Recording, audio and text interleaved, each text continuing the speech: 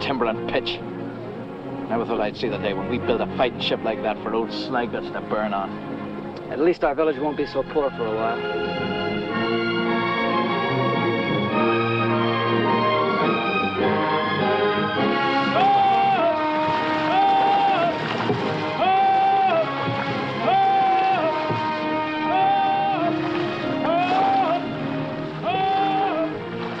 Father, she's beautiful, like something alive. Oh, less enthusiasm, child, or he'll raise the price.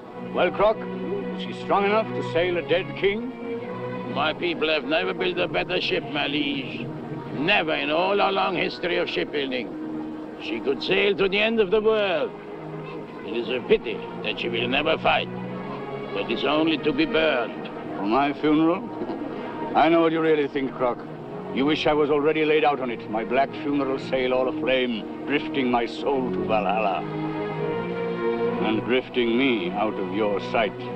Sire, nothing could be further from my mind. You will surely outlive me. I'll see to that, Krok.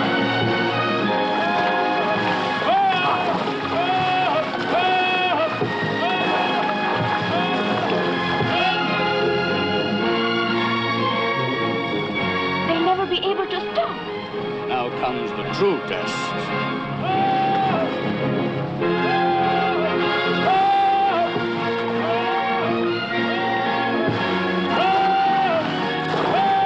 Now.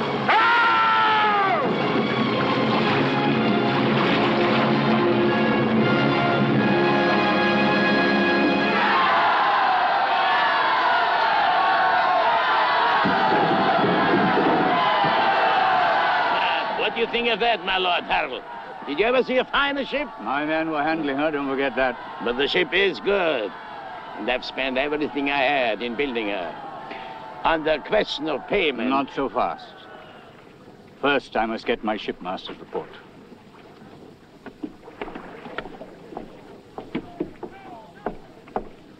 How did you find her, Sven? The best I've ever handled, sire. I'd trade my place in Valhalla to sail in her. Don't be so eager for Valhalla. Prepare for sailing home. Sire. I, Harald, King of Northland, take this ship.